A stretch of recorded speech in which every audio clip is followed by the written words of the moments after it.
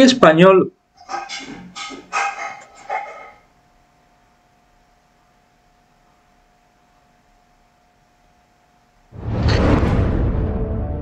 Queridos amigos, bienvenidos a Patria y Política de España. Hoy eh, el Congreso de los Diputados ha vuelto a abrir las puertas de su pleno de forma extraordinaria, porque recordemos que estamos en enero y enero no hay pleno. Aunque todos sabemos que este es un debate económico y que usted de economía no sabe nada, gracias por acudir a este primer debate del año. En un día de enero tan frío, tan frío, que he visto a un socialista meterse las manos en sus propios bolsillos. Imagínense el frío que hace. Tradiciones, tradiciones que se rompen. A mí es que me gusta mantener las tradiciones. Por eso, como tantos españoles, el pasado 28 de diciembre, el Día de los Santos Inocentes, no pude evitar leer la prensa. Me pareció encontrarla la primera, cuando leo Pedro Sánchez por fin baja los impuestos de los alimentos para combatir la inflación, digo, esta es la inocentada. Tiene que ser esta. Porque Pedro Sánchez, que baje los impuestos, el mismo que había llevado a España a liderar la presión fiscal en Europa, no parecía muy probable. Además, cada vez que Vox lo proponía, su gobierno se negaba. La última vez, la semana anterior a la publicación de este Real Decreto. ¿Se acuerdan ustedes lo que decían? Que no lo permitía Europa. Eso es lo que ustedes decían. Y cuando Vox existía, ustedes acababan atacándonos tirando de su triángulo mágico, que ya saben que es Franco, virus, Putin. Y eso vale para cualquier cosa que digamos. Porque mire, el gobierno acierta cuando nos copia, acierta cuando rectifica. Una rebaja del IVA que desde Vox llevábamos pidiendo hacía nueve meses para los alimentos. La prórroga de la bajada del IVA a, la energía que llevamos pidiendo 18 meses o el tipo reducido para mascarillas que Vox llevaba pidiendo desde el año 2020. Ustedes eligieron socios los peores posibles y en su afán por preservar o perseverar en error no tuvieron límites. Indultos, acercamientos de presos, modificación del Código Penal a medida de los delincuentes, de los golpistas, de los corruptos. Ustedes aprobaron una ley que tenía como consecuencia la salida de los violadores de la cárcel. Y por persistir en el error, ya son casi 250 los agresores sexuales que se han beneficiado de la ley que libera violadores sí o sí. En este Real Decreto Ley que traen hoy a convalidar, no hay ningún ejercicio de rectificación, sino solamente de trilerismo político, con una diferencia, y es que a los trileros en las calles no se les ve el truco. Yo ya sé que a los progres y a la izquierda woke no les gustan las matemáticas, pero créanme, porque se lo aseguro, con independencia de sus sentimientos y de su autopercepción, créame que 690 menos 660 son 30, con perspectiva de género o sin ella. Es decir, ustedes en materia fiscal, los alimentos, suben en 30 millones de euros los impuestos a los españoles.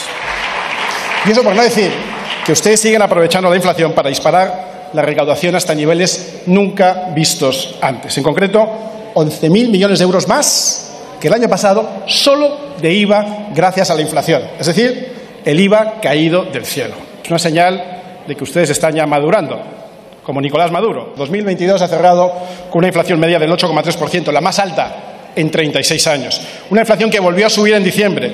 Los precios de los alimentos continúan disparados y lo más grave es que la inflación subyacente, es decir, el índice de precios que no tiene en cuenta ni los precios de la energía ni el de los productos frescos, no ha dejado de incrementarse, alcanzando un 7% y superando la inflación general. Una vez más, con sus medidas, el Gobierno obtiene el efecto contrario al deseado, dificultando aún más el acceso a la vivienda, que es un bien básico, y además incrementando el precio de las nuevas viviendas que salen al mercado. Señoría. Y luego ha comparecido Santiago Bascal.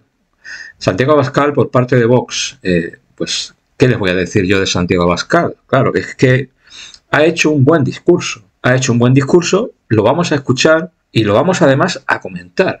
Vamos a añadirle contenido extra a este vídeo de Patria y Política de España. Pedro Sánchez siempre se disfraza de estadista cuando viene a esta Cámara, como si estuviese huyendo de algo o como si estuviese ocultando algo. Siempre regresa muy ufano de sus giras porque solo en el extranjero puede pasear sin ver el rastro de ruina y de indignación que generan sus políticas. De hecho, hoy se ha mostrado aquí muy orgulloso y muy satisfecho por las palmaditas, los besos y las carantoñas multimillonarios en Davos pero eso quizá le hace olvidar los pitidos, los abucheos y los reproches de las clases populares en España, que le hacen a usted necesitar perímetros de 500 metros para celebrar sus actos y recurrir a un marketing de líder norcoreano jugando a la petanca con sus propios afiliados. Curioso, curioso eso de la petanca que ha dicho Santiago Bascal, porque mm, no sé si lo saben, ¿no? Pero Inés Arrimadas, de Ciudadanos, el, nuevo Partido Liberal de España, ya saben, eh, ha dado más datos de lo que ha ocurrido en ese juego de petanca. Yo digo, juego de petanca, esto que, la verdad, le soy sincero, no sabía lo que era. Pero Inés Arrimadas lo ha explicado, escuche.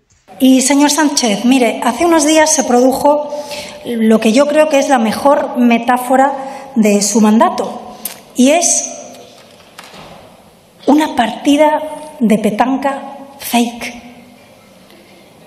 Usted, en un intento de hacer ver que es una persona cercana y normal, que pasea con normalidad por las calles de Madrid, organizó una partida de petanca de mentira, con supuestos jubilados al azar que resultan que eran veteranos del PSOE. Esta partida de petanca estaba guionizada y a uno de los veteranos del PSOE le tocó decir la siguiente frase, campeón, qué bien hablas inglés.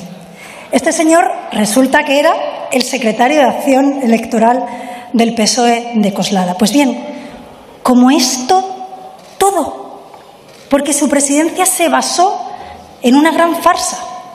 Comenzó en las mentiras que usted dijo en campaña, que me acuerdo perfectamente de escucharle decir, yo mismo traeré detenido a Puigdemont.